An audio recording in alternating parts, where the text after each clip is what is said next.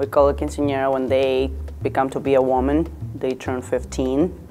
And then for a Latino culture, it's, you know, huge. A lot of people compare it to a wedding. You know, our family is really big.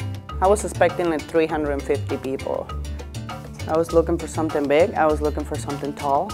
So when I get to see how big it was and everything, I just kind of fell in love with the Civic Center. Usually every single quinceañera has a theme, has a meaning. It has a favorite color, favorite cake.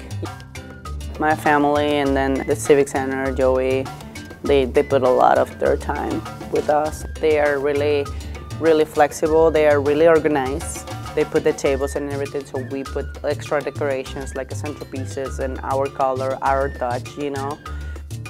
The main point was, you know, to have fun, of course, to invite friends and family, and then pretty much just to have fun, the party.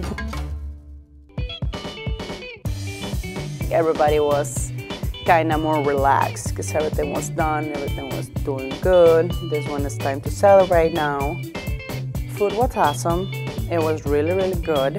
I have probably like 10 or 20 of my friends directly tell me right away that it was amazing. I was in, almost in tears, so holding my breath. She was, she was beautiful and she was enjoying every single minute. She invited a lot of her friends, so she was dancing all night long. I think she was really excited. And then now she kind of thanked me for the memories that she made. In the end of the day, if you're looking for something kind of perfect, you can come over at the Civic Center.